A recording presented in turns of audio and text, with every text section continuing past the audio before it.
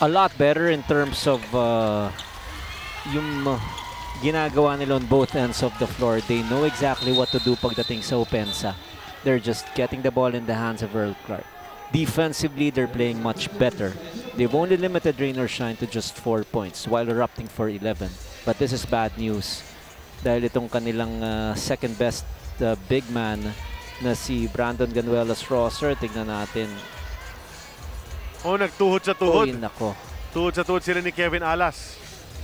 And so he's on the ground. He's in pain. Uh, Brandon Ganuelas Rosser immediately referee Narandan blew his whistle because there was no clear fast break anyway on the other side. We're just hoping it's the sudden impact, yung sakit, di ba, right away na pwedeng mawala agad. But uh, Tapos yung ma-shake off lang, ano, yung konting pagpag lang dahil alam niya kung gaano ka-importante itong laban na ito. well, he's getting up. This looks, uh, that's a good sign. If he, he's uh, finally able to, at least he's sitting up right now. So far in this conference, 11 uh, total games played by uh, Brandon Ganuelas Rosser. He was not able to suit up against Tropang Giga. That was the only game.